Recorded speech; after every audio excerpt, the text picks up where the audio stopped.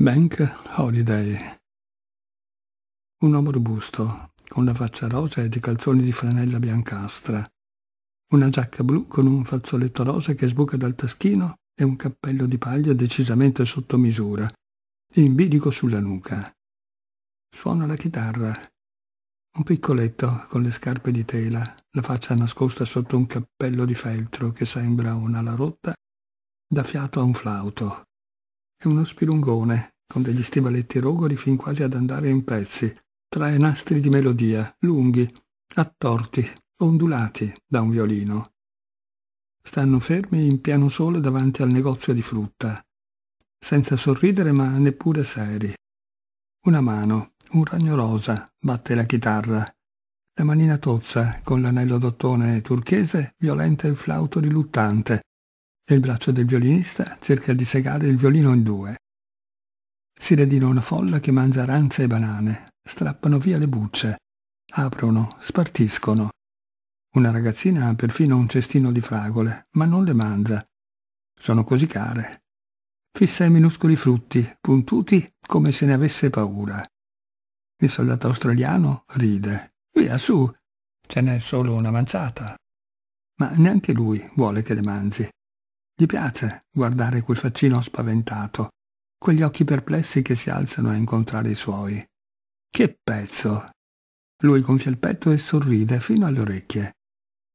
Vecchie grasse in corsetti di velluto, vecchi puntaspilli polverosi, megere allampanate che paiono ombelli sdruciti con una tremula cuffietta in cima, giovanette vestite di mussola, con cappellini che sembrano cresciuti sulle siepi e scarpe alte a punta, uomini in cachi, marinai in piegatucci, giovani ebrei vestiti di panno, con le spalle imbottite e i calzoni larghi, ragazzi dell'orfanatrofio in blu.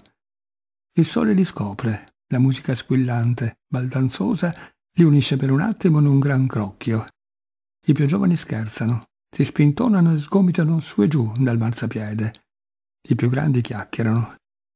Così gli ho detto, se vuoi il dottore tutto per te, te lo vai a chiamare. Dico bene?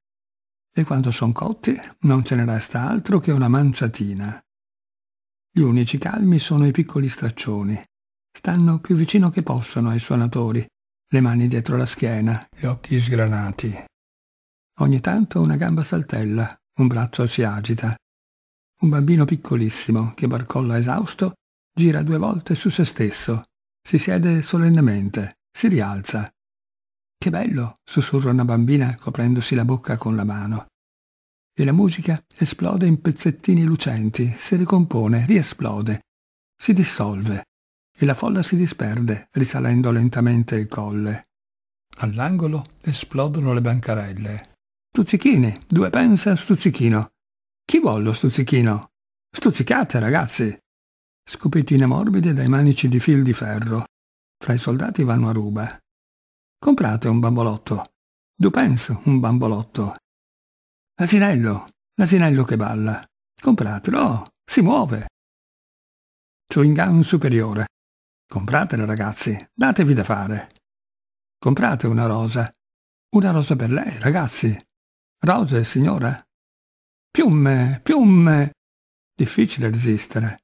Belle piume a cascate, verde smeraldo, scarlatte, azzurre, giallo canarino. Perfino i neonati hanno piume infilate nelle cuffiette.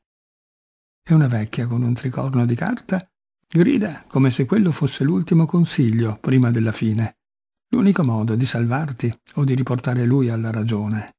Compra un tricorno, cara, e infilatelo. È una giornata sospesa, metà sole e metà vento. Quando il sole sparisce, gli vola sopra un'ombra. Quando riappare scotta, gli uomini e le donne se lo sentono bruciare sulla schiena, sul petto, sulle braccia. Sentono il corpo espandersi, attivarsi, e allora fanno gran gesti avvolgenti. Alzano le braccia per nulla, si lasciano cadere su una ragazza, esplodono in risate. Limonata! Ce n'è un secchio intero su un tavolo coperto da una tovaglia, e i limoni galleggiano nell'acqua gialla, come pesci informi. Sembra solida come marmellata nei bicchieri spessi. Perché non riescono a berla senza versarla? La versano tutti, e prima di restituire il bicchiere sventagliano via le ultime gocce.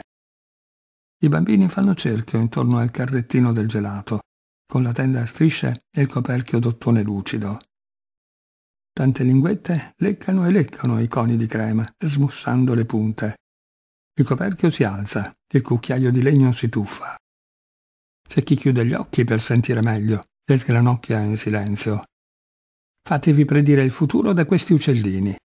Accanto alla gabbia, un'italiana grinzosa, senza età, apre e chiude gli artigli scuri. La sua faccia, un capolavoro di intaglio delicato, è avvolta in una sciarpa verde e oro. E dentro la loro prigione i pappagallini svolazzano verso i foglietti che sono nel recipiente dei semi. Hai una gran forza di carattere. Sposerai un uomo coi capelli rossi e avrai tre bambini. Guardati da una donna bionda. Attenta, attenta. Un'automobile guidata da un autista grasso corre giù per la discesa. Dentro c'è una donna bionda imbronciata che si sporge, che si getta nella tua vita. Stai in guardia, stai in guardia. Signore e signori, sono un banditore professionista e se quel che vi dico non è la verità, mi possano togliere la licenza e mettere al fresco per degli anni.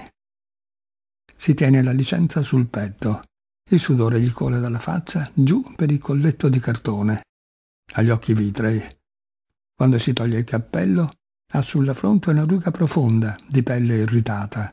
Nessuno che gli compri un orologio.